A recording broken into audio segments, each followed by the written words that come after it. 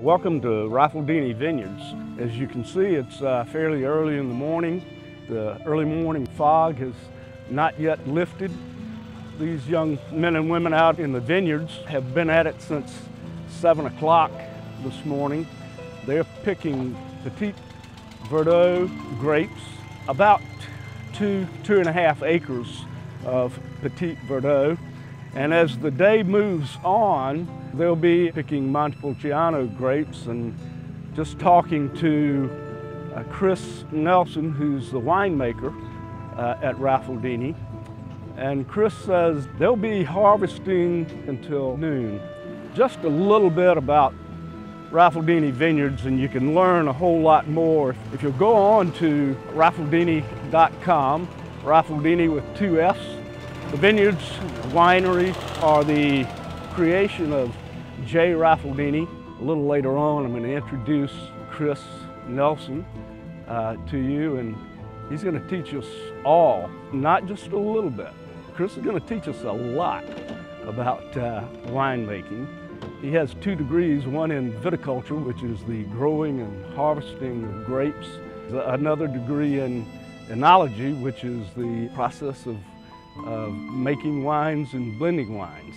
We'll take you up in the skillet and glass helicopter and fly you over property and let you see the beautiful vineyards, the beautiful villa up behind me that is where tastings take place. This is where wines are sold and where you have a few glasses uh, as well. We may be able to take you upstairs where Jay and Chris put on presentations, cooking demonstrations, and teach us about tasting wines. We're gonna have a good day today. It's gonna be a lot of fun. Looking forward to it, and I hope you are too. So I'm Chris Nelson, the winemaker at Raffaldini, and I wanted to show you guys a little bit of these processes we do here. So classic grapes are picked from the field. We have uh, about one ton of Petit Verdot out there. This is a very fresh cluster. You can kind of see how it's plump and moist. There's a lot of tension in the berries. This literally just came in from the field like 20 minutes ago. So contrast that with this is the style of drying grapes from northeastern Italy, and it is called appassimento. And you can kind of see the difference here on this tray of grapes. So we fill these trays with grape, okay? They look like this when the process starts.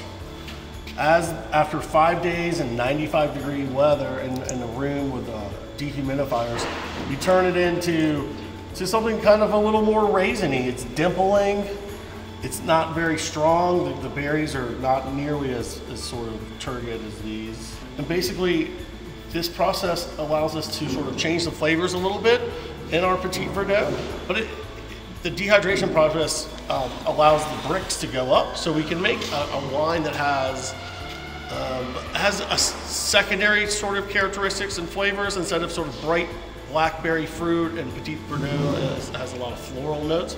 You get a wine that has a hint more um, like a plum or a bit of a raisin note. This is a very labor intensive process to do appassimento. Um, the grapes get touched, you know, once they're picked into 25 pound yellow lugs, then they get laid out on trays, then they, the trays get put on the racks, there's 40 per rack, then it gets weighed, then it gets moved into the drying room, then it stays in the drying room, comes out, gets weighed again, then gets brought into here and put into the tank. As grapes start to ferment, they are an anaerobic. Well, the yeast that are fermenting the sugars, turning sugar to alcohol, which is what most people care about when we're looking at wine, eh, they're anaerobic. So by that means they don't need oxygen. So this is a fermentation. You can see in here, this is, the grapes have all floated to the top and they've formed a cap. So I'm gonna put my hand through here and I'm getting to wine right about there. So that was, that's about how deep the, the cap is.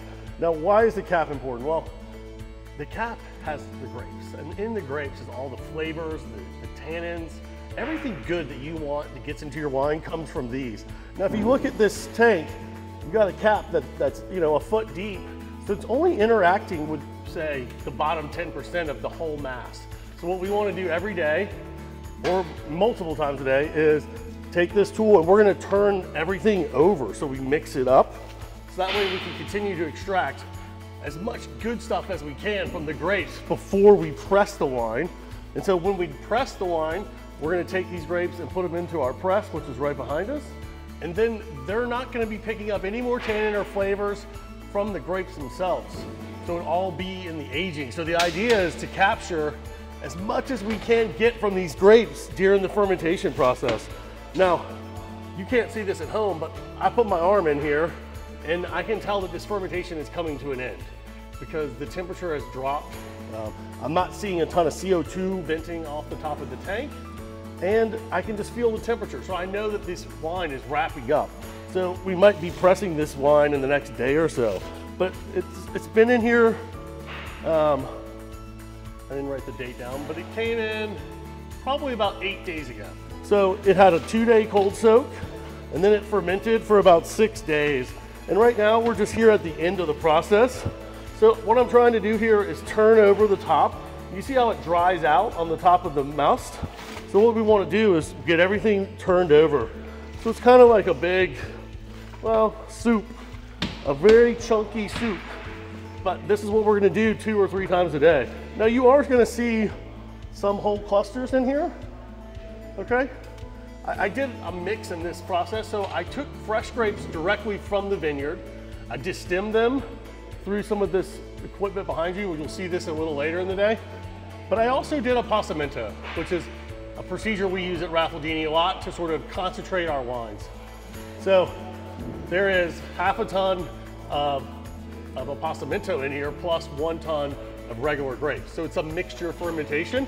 So it's gonna give me some bolder wines than if I just did whole berry by itself. The drying process that we use for appassimento um, changes the flavors, concentrates it.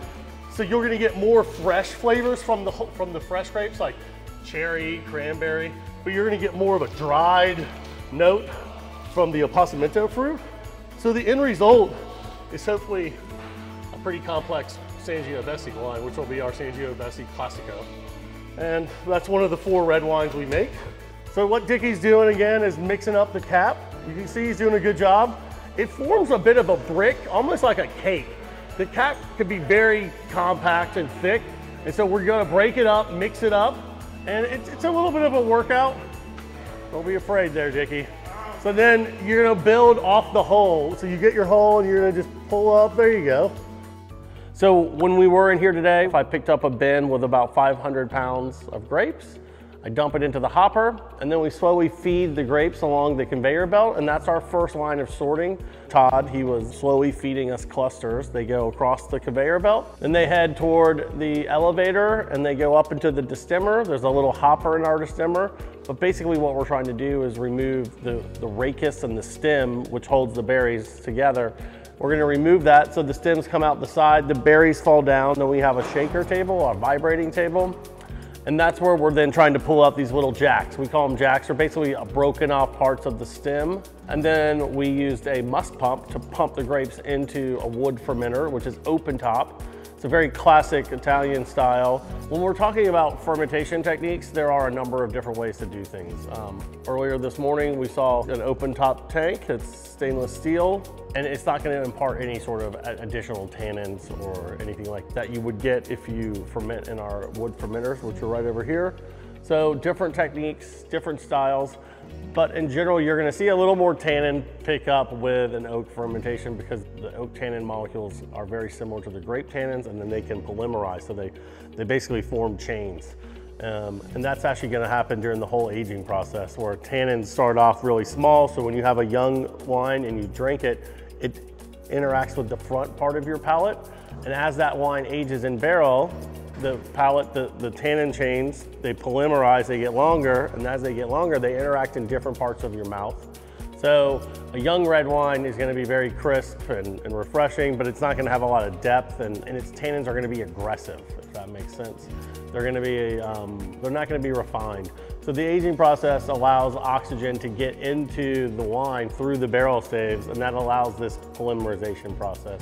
So things uh, continuously develop. We hear about this that wine is alive. So um, I know some people love bourbon and this group of people, and so the idea is those those those alcoholic beverages don't change much once they're put into bottle, but but wines continue to develop and age, and that's one of the beautiful things about them. So now we are in the botti room, which is B-O-T-T-I, botti. The botti is one of these beautiful 660 gallon barrels behind me. These are straight from Italy. The producer is Gamba from a little town called Asti. So we have 15 of these particular, these are all for aging. Okay, so most of the wines here are from the previous vintages. This ginormous barrel right here fits 11 of these little barrels, okay? So this is your standard barrel. Uh, it's 55 gallons for whiskey, 60 gallons for wine, and then you have one that holds 11. So, uh, but now we're here talking about some of these barrels. So this is um, a grape called Petit Manseng. It's a new grape for us at Raffaldini. We're looking to, to use it to to add some, um, well, eventually to go into our sparkling wine program and then to beef up another wine called Desseria. So Petit Manseng is very versatile. It has a very high TA, which is the mode of total acidity.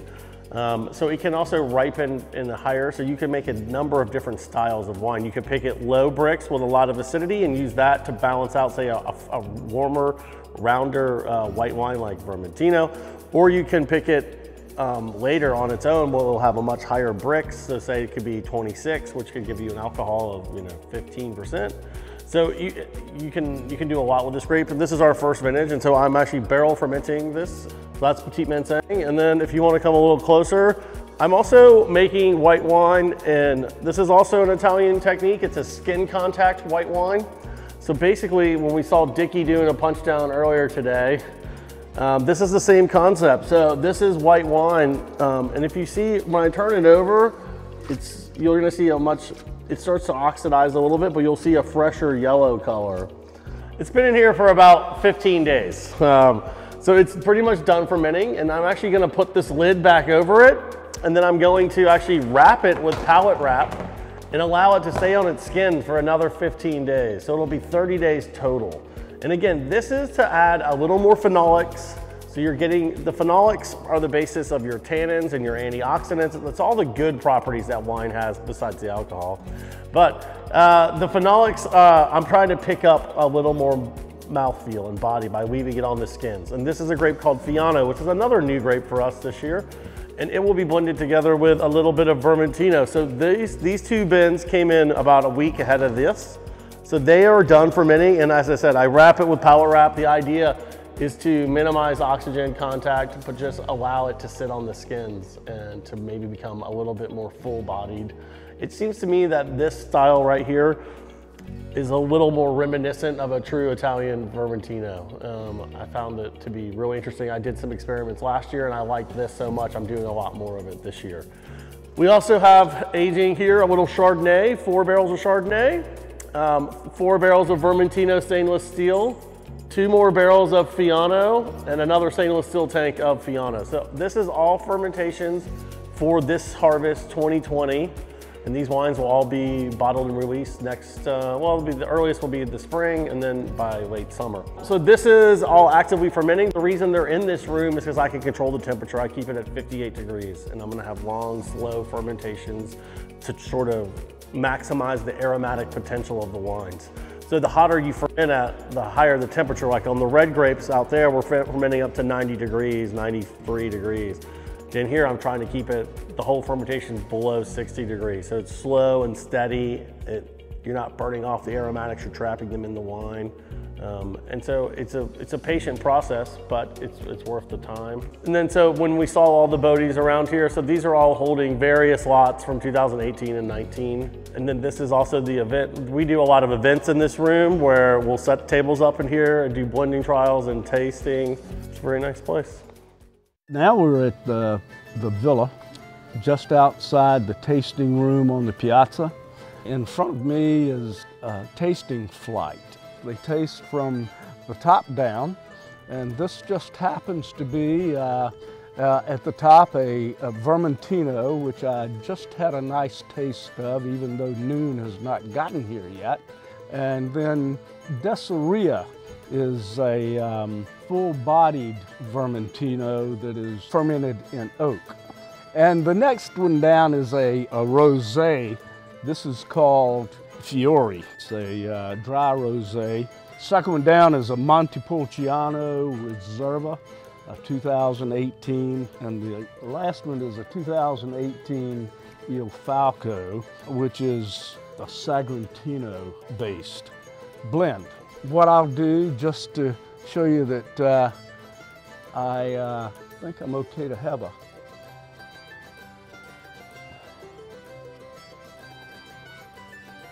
another little taste.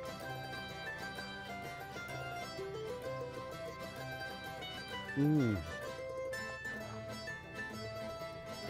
Very fine for this time of morning. Salute.